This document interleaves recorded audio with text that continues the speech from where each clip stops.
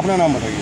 मेरा नाम विनोद सिंह। विनोद ये कब हादसा हुआ? जो बस पीछे खड़ी कैसे क्या हुआ? आप जब यहाँ से गुजर रहे थे क्या हुआ था? ये गोपीनाथ बाज़ार से दौला कुआँ वाला रास्ता है। हम्म, हम्म, ये हम यहाँ से रोड क्रॉस कर रहे थे मतलब फुटपाथ पे से जा रहे थे जब ये बस वाला सीधा आके इसके ऊपर घुस गया। ये एक दूसरे से तो रेस लगाते हैं। मतलब इसकी साइड में दूसरी बस थी उससे रेस लगा रहा था ये। तो फिर ये सीधा आगे चढ़ गया वो तो यहाँ कोई बंदा खाली नहीं तो उन गाड़ी चढ़ती हम तो थोड़ा पीछे। हम्म। और अब तो उतर के भाग गया। इसमें सवारियाँ भी थी उस समय लोग हाँ सवारी थी काफ़ी लोग थे। किसी के मतलब मोच वो चाहिए काफ़ी लोग घुटने लग गए आगे वाली सीट तो वो लोग चले गए कल बोर्ड के हॉस्पिटल के सामने। अच्छा।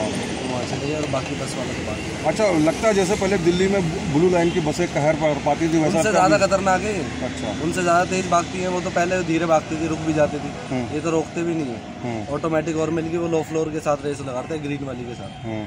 तो और इसमें पीछे लिखा हुआ एक स्लोगन उसको लेकर क्या कहोगे आप? हाँ अपनी लेन में ड्राइविंग करते हैं सबसे लेफ़्ट वाली लेन होती है इनकी तो उसी में चला रहा है उस हिसाब से तो ये। हम्म।